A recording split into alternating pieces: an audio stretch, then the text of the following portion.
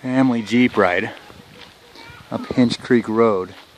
Goes through this beautiful canyon. Camera gonna adjust big rock pillars, rock slides.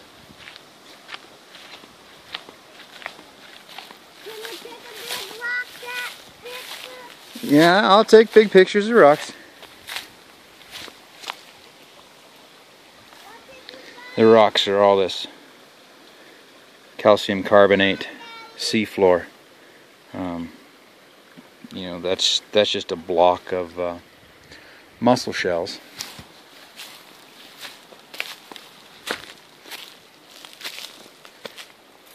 And I thought this was kind of fascinating.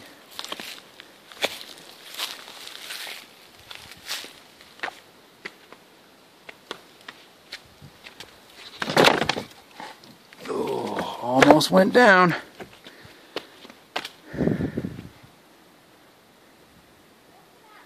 I can't tell if we're looking at man-made or just these hills collapsing down. I think it's just the hills collapsing down. Obviously this is a road cut pushed in over here, but I was wondering if there might be some uh, native carvings up here.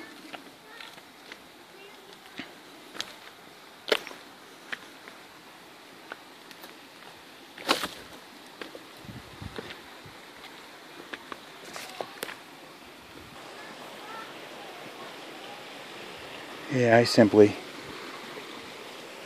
do not have the right shoes for hiking and exploring and seeing if there's maybe some native stuff along here. It's a really likely place for it though.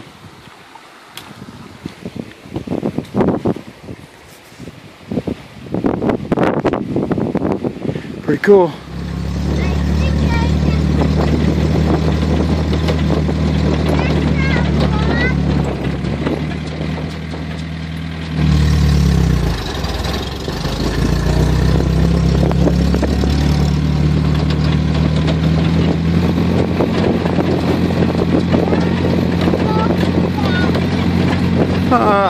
Honest, buddy, I don't know.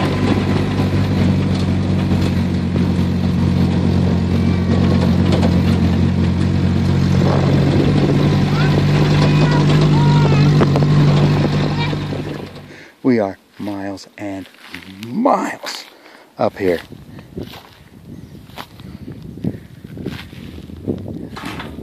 Now expect to find a Model T body. I don't know its story. I don't know why I got left. I don't know why this piece is packed all the way up here. Oh, there's even more of it left up here. Look at this. Look at this. Running boards.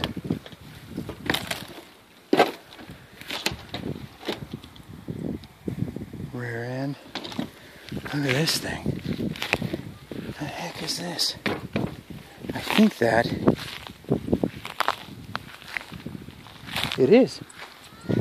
That's is a homemade water tank. Wow. Wow. Homemade water tank.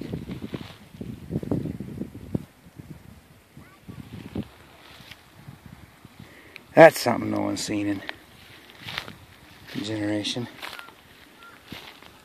Very cool. I wonder what they were doing. I wonder what they were doing with it. Tell you what though, other than this neat stuff like this, look at the flip top oiler. Flip top oiler on the spring shackles on the rear end of this. Brackets. Somebody will recognize and tell me precisely what this is. I think it's a Model T. I think it's a T. It'll be that rear wishbone arched spring. Somebody will look at that and say, oh, yeah. Wooden frame rails. Jeez, the Model T have wooden frame? Huh. Not my point of expertise, I'm afraid.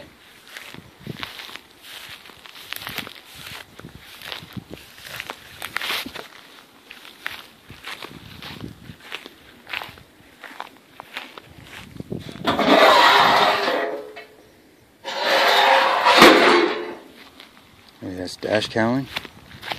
It sure is scattered. Sure is scattered a heck and gone. Firewall maybe? And a little more of it over here.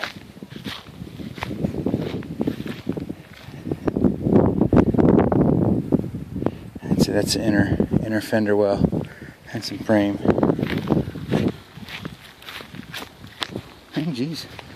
More of it down here.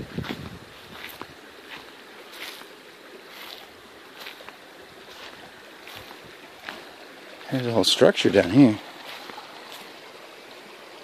Huh.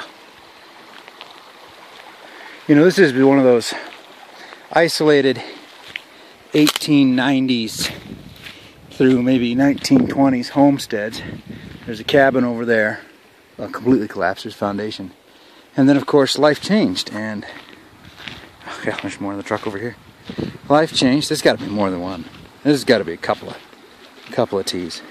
But uh, people wanted more, and the idea of being out here by yourself is just too much. Generations die off. Yeah. Front fenders. Generations die off and things change. Very.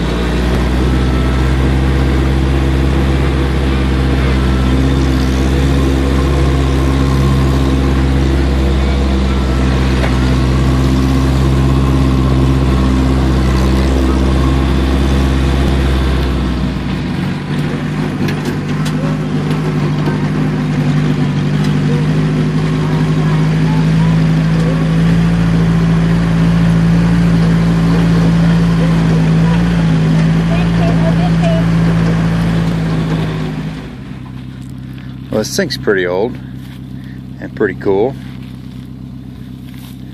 Big old homemade brushing rake. And they've, they've covered, I wonder what these rippers came from. It's like it's half factory and half homemade.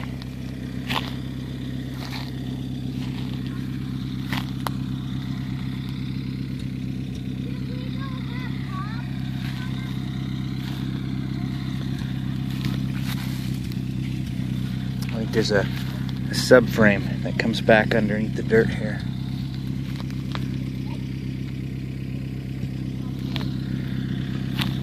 And they just sort of armor plated it with hard facing rod. Good times.